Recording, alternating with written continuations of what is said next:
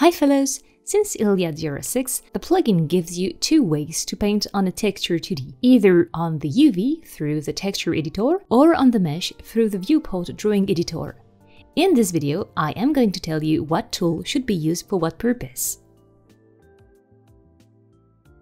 If you just need to sketch a quick drawing, using the viewport drawing editor will be more than useful.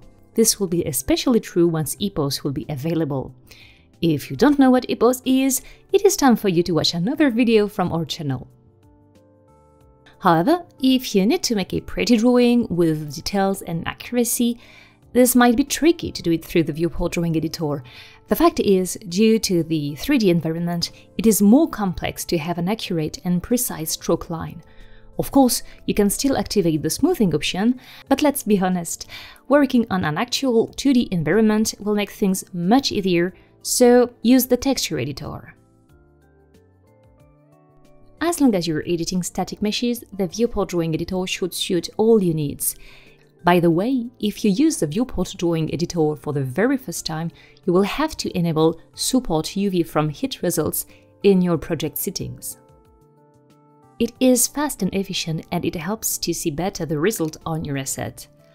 Plus, you will still have the possibility to add layers, change blending modes, or play with any type of brushes. However, if you need to edit another type of mesh, such as an animated character, then you will have to use the texture editor to modify the texture.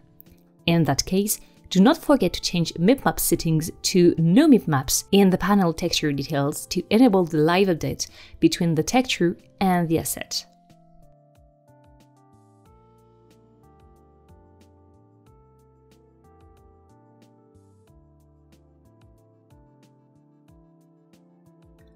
The rule is simple, no static mesh, no Iliad mode. In fact, if you need to paint a decal or generate a post-process volume using textures, then you shall use the texture editor.